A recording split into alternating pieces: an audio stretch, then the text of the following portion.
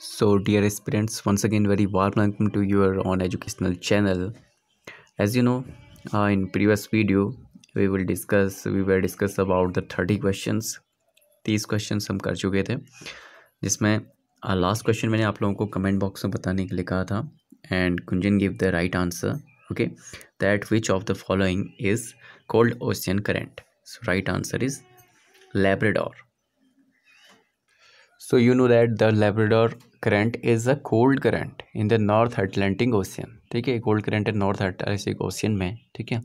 Which flows from the Arctic ocean and south along the coast of Labrador okay and passes along Newfoundland okay continuing south along the east coast of Canada near Nova Scotia so mainly आपको Labrador से समझना है कि क्या cold ocean current है। Next question is which of the following countries in South America is largest in a?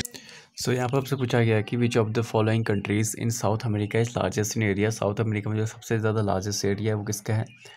Brazil का।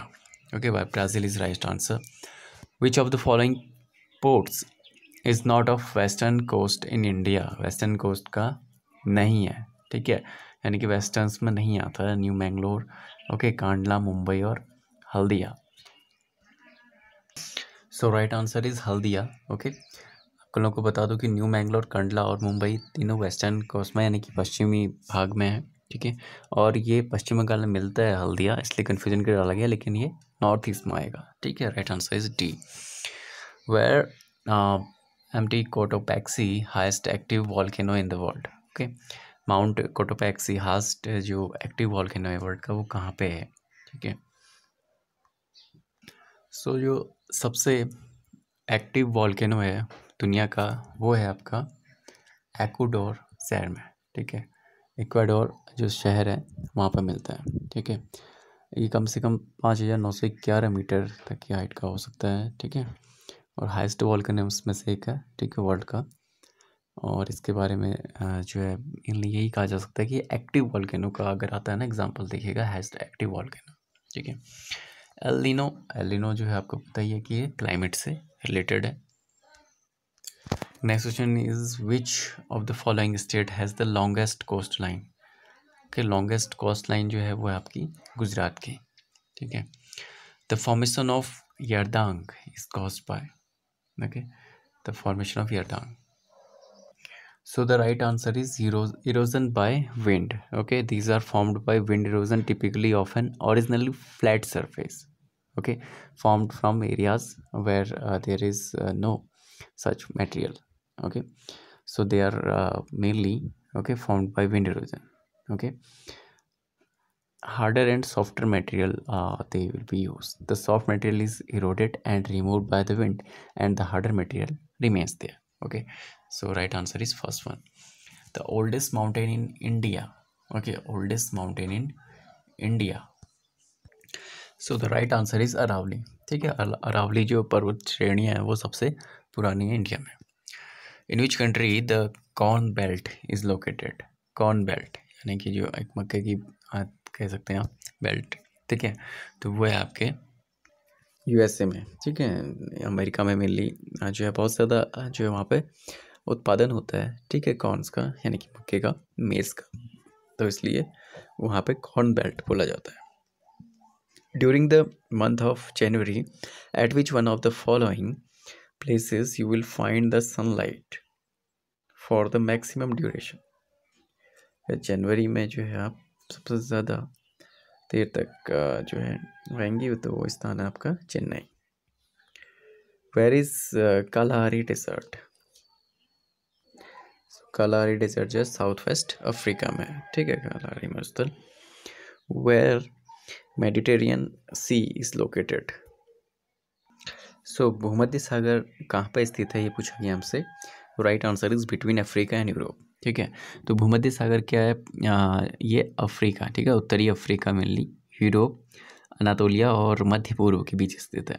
अब देखिए यहाँ पे ऑप्शन क्या दिए गए थे हमें? ठीक है, अफ्रीका और यूरोप। तो अफ्रीका, जो आपको ऑप्शन से छाटना होता है, ठीक है? यूरोप अन्य ऑप्शन में कहीं पे नहीं है तो राइट आंसर आप यहीं से भी निकाल सकते हैं। ठीक है? एक याद कर लीजिए कि अफ्रीका और यूरोप में के मध्य में मिलता है। ठीक है?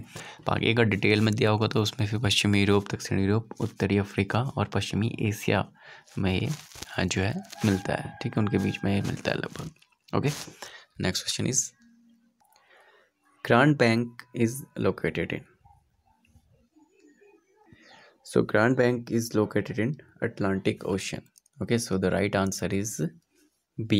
ठीक है? अटलांटिक ओशन में जो है ये मिलता है।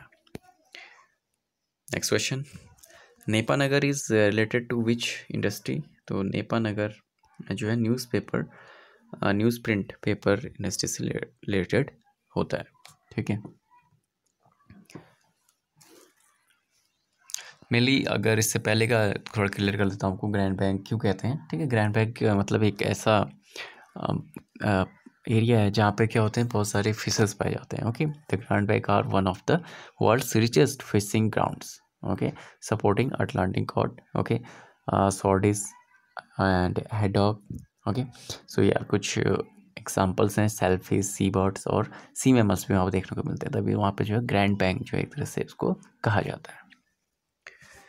तो ये जो है न्यूट प्रिंट पेपर से रिलेटेड है Nepanagar in which state Dabhol project is located so the right answer is Maharashtra ये महाराष्ट्र का प्रोजेक्ट है. In which month Quit India Movement of 1942 started तो भारत छोड़ो, आंदोलन जो है आपका, अगस्त के महीने में स्टार्ट हुआ था। तो जितने भी आंदोलन हैं, गांधी से रिलेटेड उनको भी आप लोगों को तैयार करना है। Next is Indian National Congress was established in तो ये 1885 में इसका राइट आंसर है। Who was the who has the power to constitute a new state in the union of India ठीक है, नया स्टेट बनाने की किस्में होती है तो वो है पार्लियामेंट। ठीक है, संसदीय जो है, नया कोई भी राज्य बना सकती है।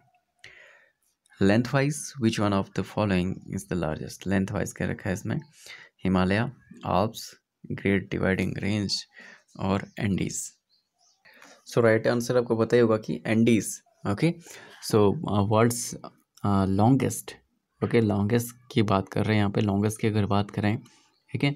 तो एंडीज जो है राइट आंसर हो जाएगा। ठीक है?